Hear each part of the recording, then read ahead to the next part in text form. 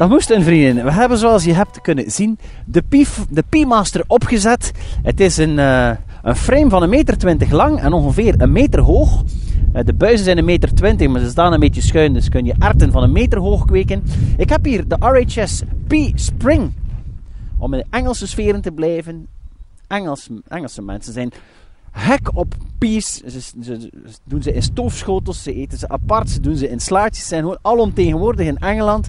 En deze ga ik uh, aan de P-frame gaan monteren. Jullie hebben kunnen zien dat we gewoon de buizen in de clipjes, dat is in ei-vorm, uh, gestopt hebben. En dat we dan nog de dwarsligger opgelegd hebben.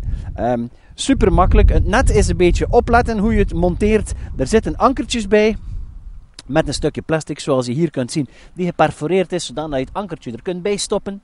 Het is de bedoeling dat je zowel op de langste kanten als op de kopse kanten ertjes gaat gaan planten. Ik ga haartjes maken om de 10 centimeter. Ik ga er twee ertjes in doen. En ik hoop dat dit hier praal en pracht wordt. De deze ertjes gaan maar een centimeter of 60 hoog. Maar ik heb ook nog de marktveroveraar. Die gaat veel hoger. En we zullen zien wat het contrast is. En um, hoe het zich evolueert gedurende het jaar.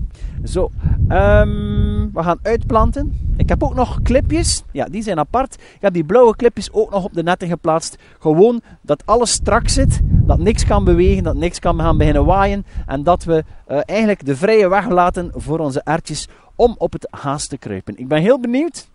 Sarah, we gaan zaaien. En uh, zet de camera maar op statief en dan kunnen jullie meevolgen.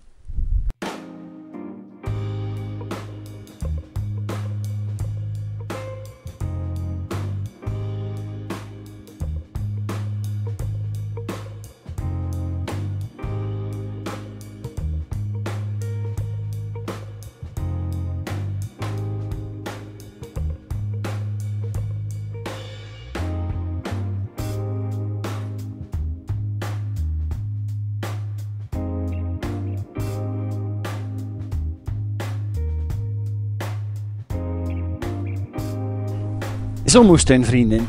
En intussen hebben we een tweede P-master bijgezet. Het zijn maartse buien. Straks komen onze aprilse grillen. Maar uh, ertjes vinden het leuk en gaan groeien nu in deze grond bij deze temperaturen. We hopen, en het zijn ook wel hagelstenen, dat de ertjes, dit zijn de lagere soorten, de spring peas van RHS.